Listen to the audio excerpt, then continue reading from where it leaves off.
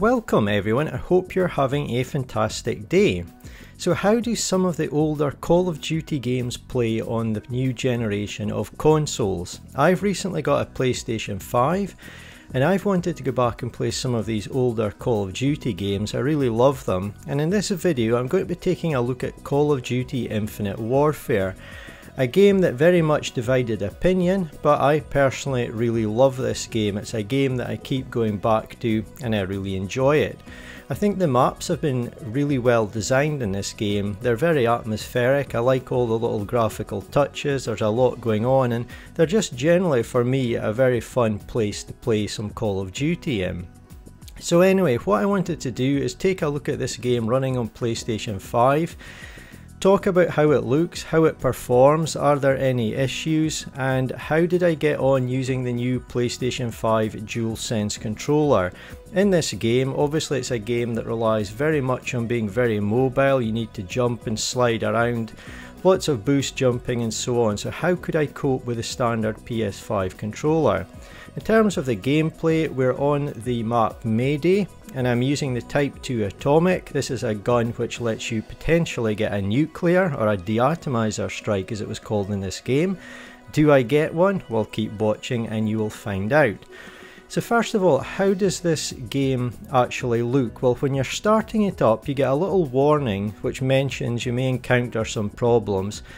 Because it's a PS4 game, I think it's a standard warning that you'll get on all PS4 games. But once that message vanishes from your screen, the game loads up normally, nothing looks any different.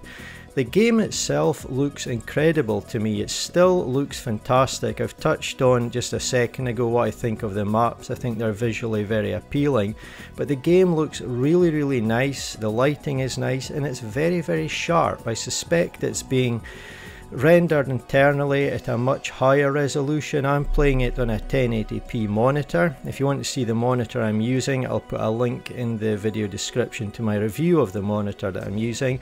But I'm playing it on a 1080p monitor. It looks fantastic and I think it's being super sampled down from a much higher resolution. So I suspect it's running on PS5 at a higher resolution and probably a slightly more consistent 60 frames per second because it's on the more powerful PS5 console than it would have been back in the days of the PlayStation 4 when this game actually came out. The game run very well on PS4 as well, a pretty steady 60 frames per second I believe, but I'm not noticing any drops or any issues at all running on the more powerful PS5 hardware and it does look really really nice, really sharp as well. Have I encountered any issues when I've been playing this game?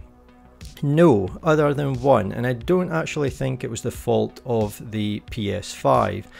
I was playing in a game using one of the, I think it was the R3K variants, which I believe is a three burst assault rifle, and I was one bursting people quite a lot in the game, and a few people quit, and I actually just one burst someone, and then it came up looking for a new host. So I think they quit the game. And then it came up that it was sending packets and it reached 8% and then the game froze. It didn't freeze my console, so I had to go back to the PlayStation menus and close the game. But other than that, I've had no issues whatsoever. And I believe that was probably the fault of Infinite Warfare itself being unable to find a new host. But other than that, the game has played flawlessly for me. So next, let's have a little discussion about the controller.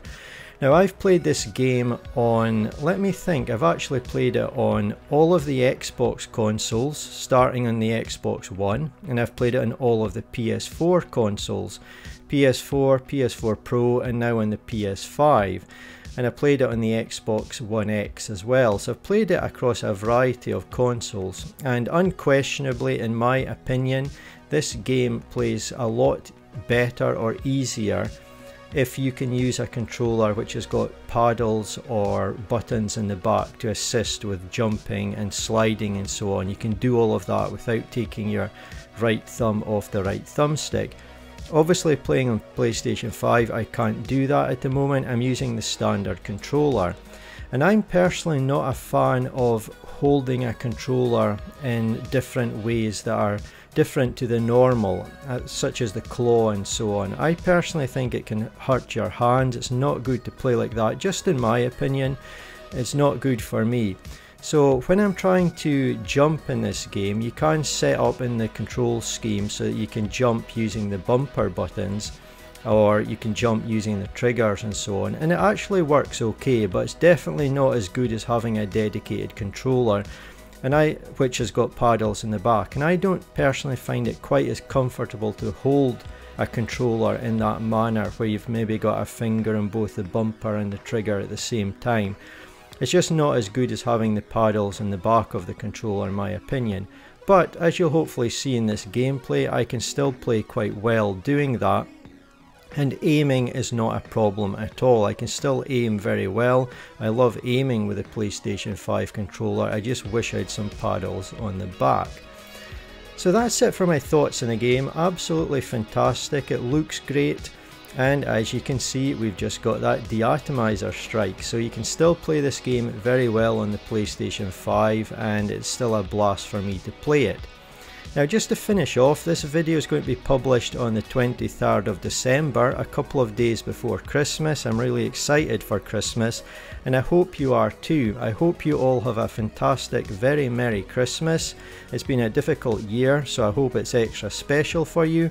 And if you're buying yourself any presents or you're looking to get any presents regarding gaming, be it a new game, be it a new controller, be it one of the new consoles, maybe it's a new monitor. Let me know in the comments section what you're getting or hoping to get. I'd love to hear about that and have some discussion in the comments.